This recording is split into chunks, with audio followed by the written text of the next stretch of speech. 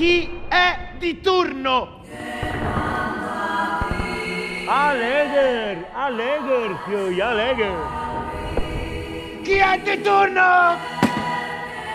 In due anni di guerra, nelle mischie terribili, davanti a schiere di uomini falciati, io non ho mai provato il sentimento che provo adesso per questa lenta, metodica, inutile strage, no no, non ci sono ordini buoni o ordini cattivi, ordini giusti o ordini ingiusti. L'ordine è sempre lo stesso, il diritto assoluto all'altrui obbedienza.